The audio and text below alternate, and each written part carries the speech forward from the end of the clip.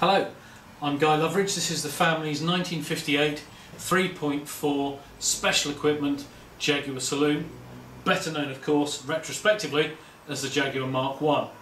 This car was ordered as a special order via Rippon Brothers of Huddersfield and went to its happy new owner in the summer of 1958. Special equipment because it has a C-type engine and disc brakes all round. This car has been in the family for a number of years. It won the uh, Coombs Trophy at the Blenheim Palace Concours a few summers ago and we enjoy using it throughout the year, taking it to events all over the country. The engine bay, as I say, features the 3.4 world famous XK engine. This is on twin SU carburetors on a C-type head.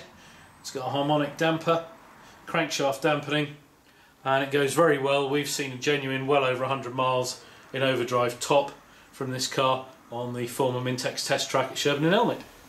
The inside of the car is pretty much original. It's been given a nice French polish but uh, from the left hand side of the dash you'll see it wears proudly a Tourist Trophy supplier's plaque. That's because both my and my father's hero is Mike Hawthorn. The instruments are nicely laid out. It's got uh, D-type clocks, hence the 180 mile an hour speedometer. Period radio. It's got a wind up aerial, which is this here. Winds the aerial up on the wing. Modern feature. An original Tourist Trophy garage keyring, a la Mike Hawthorn good solid four spoke wheel wears proudly its uh, Coombs Trophy winner's badge and the car starts very happily first push of the button